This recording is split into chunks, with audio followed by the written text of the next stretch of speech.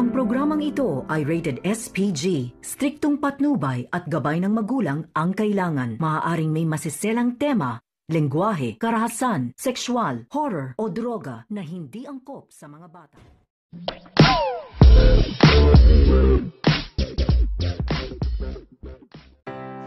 Labis ngang naapektuhan itong si General Borja sa sinapit ng kanyang apo na si Cardo Dalisay at lalong-lalo na itong si Grego na matalik na kaibigan ni Cardo.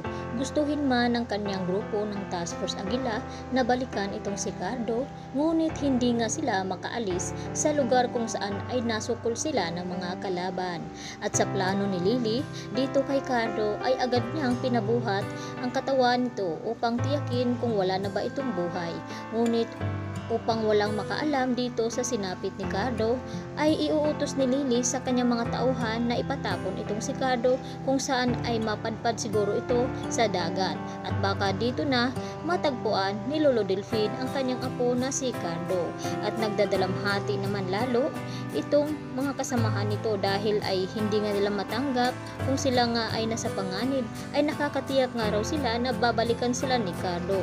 Ngunit magkaiba naman ang sinapit dito ni Cardo dahil bago nga ito umalis ay sinabi naman niya dito kay Delphine na kapag hindi na nga siya makabalik at kinakailangan nga daw nila ipagpatuloy ang nasimula nilang laban upang matahimik na nga ang kanilang bayan ngayon. Yan lang muna ang ating latest update. Maraming salamat sa inyong panonood at pakikinig. Hanggang sa muli. Bye-bye!